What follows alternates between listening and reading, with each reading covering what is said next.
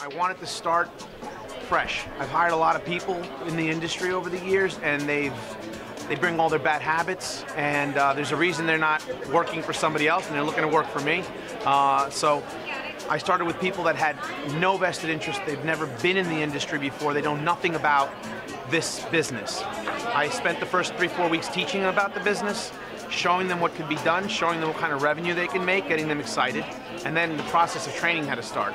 At the same time, I got an email from Justin about the whole new cloud university, and this is great, and take a look at it. When I looked at the first video, it was Andrew. He's an amazing teacher, so I knew that this was something I wanted to give to my people.